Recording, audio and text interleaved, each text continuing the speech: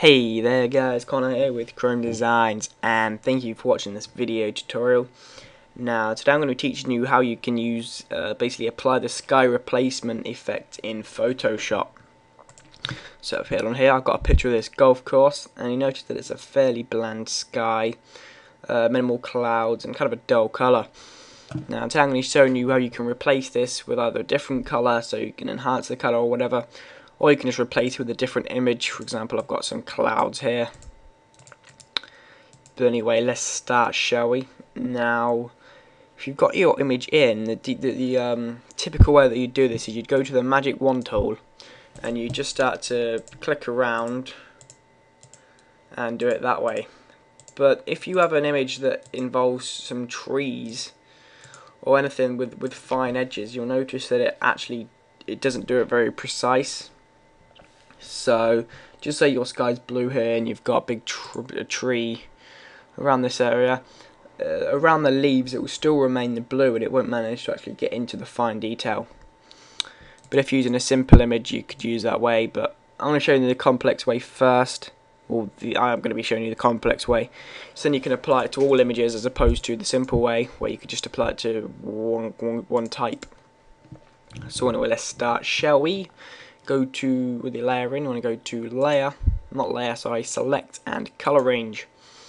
And I'll bring up this box, you may have seen this box before, you may not. But anyway, what we're going to do is we're going to click in the sky, hold shift, and just click, kicking or clicking around, just to get all the areas, go top left, down here, just try and make sure you get most of the area.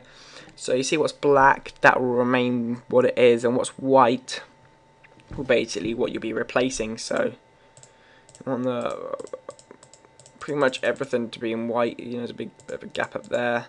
You can use this box down here just to indicate you where you need to start to click.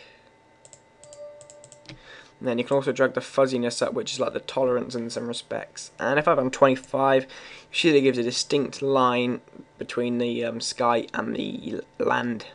So hit OK, and it will bring up this. It will bring. It will start to add margins to your work. So now what you could do you could either go to hue and saturation and you can just if you change the hue and saturation you see that it's changing the sky. So you can have like a pink sky or a red a red sky blue sky which it already was orange sky it's quite nice that does.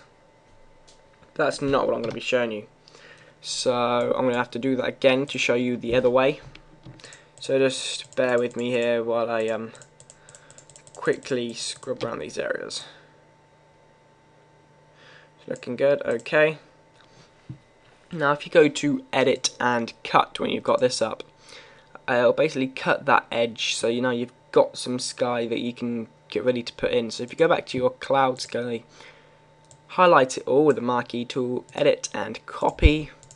You can then just go edit and paste and paste it in. And this image is rather large, I'm going to go to a free transform and I'm just going to scale it down to have a nice image. You see that's really really stretched. It's going to be be a good idea to actually hold shift, but there we go. So just line it up.